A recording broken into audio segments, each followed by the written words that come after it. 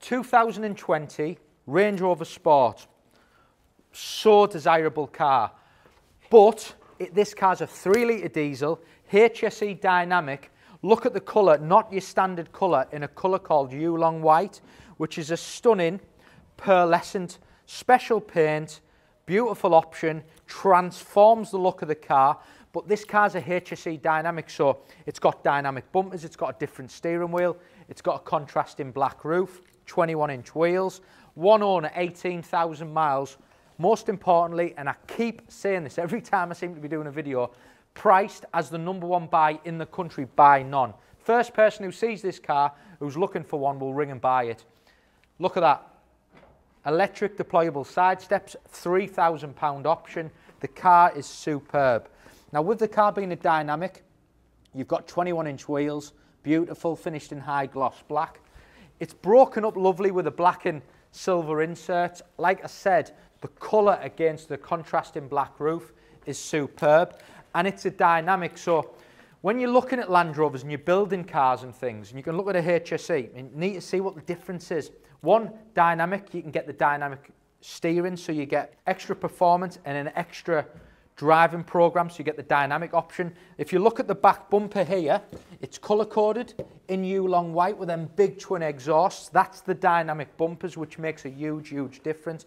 The car's then got black badging, privacy glass on the back, and I keep looking at them side steps because they are such an expensive option, especially on a Range Rover Sport, £3,000 option. The colour is absolutely superb. Moving on inside, you've got Meridian sound system, you've got memory seat, you've got a smaller dynamic leather steering wheel, keyless start, great miles as well, steering wheel's heated, only done 18,725 miles.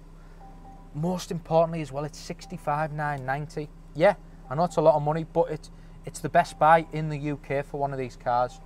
Touchscreen navigation with your Apple CarPlay. You've got your reversing camera.